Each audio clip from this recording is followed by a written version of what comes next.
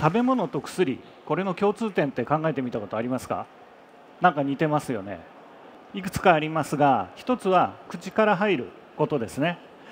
では食べ物に薬の効果を皆さん期待してますか？まあ皆さんの年代ではそうではないかもしれませんが今テレビとかラジオとかではあたかも食べ物で全ての健康が治せる病気が治せるようなことをですね言っていますけれども食べ物で治せますか？治せませんよね。食べ物っていうのはそんな薬みたいな効果はありません。病気を良くしたり体を健康にしたりそういうような効果があるのが食べ物なんですね。じゃあ食べ物のいいところって何だろう？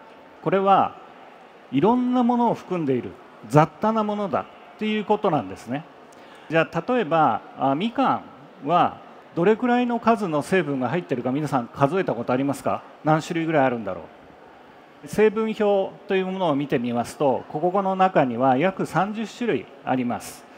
この成分表で測られてない成分わからない成分もまだまだたくさんあるかもしれません。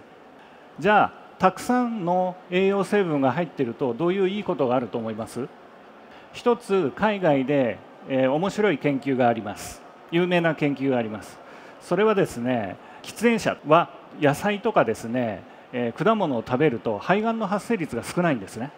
じゃあこの成分を食べさせれば肺がんは減るんじゃないかっていうことで喫煙者にですねその中の成分1点をですね数年間飲んでもらったんです。効くと思いますよね。ところが結果数年後の結果見てみるとそのサプリメントを飲んだ人の方が肺がん率が高くなってしまったんですね。でこれは何を意味するのかっていうと1点だけ栄養素を取るっていうのはちょっと危険性があるっていうことと食べ物の形で取るということ。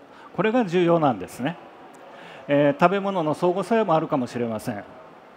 で食べ物っていうのはいくつか機能があります。栄養素。